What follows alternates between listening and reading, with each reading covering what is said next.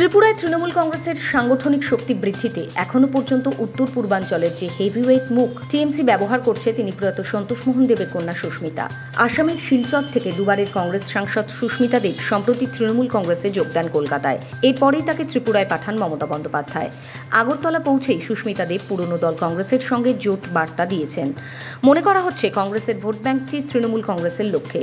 সেই লক্ষ্য নিয়েই যেন সুস্মিতা দেব দেখা করলেন প্রয়াত মুখ্যমন্ত্রী সুধীর রঞ্জন মজুমদারের স্ত্রী এবং পরিবারের অন্যান্যদের সঙ্গে। ত্রিপুরার জনসাধারণ সিদ্ধান্ত নেবে দু হাজার আঠারোর পরে যে সরকার গঠন হয়েছে তারা যে প্রতিশ্রুতি দিয়েছিলেন সেটা করতে পারেনি। কিন্তু আমার বিশ্বাস যে তৃণমূল কংগ্রেস শক্তিশালী হয়ে উঠতে পারে। Bureau report Nobel Bangla.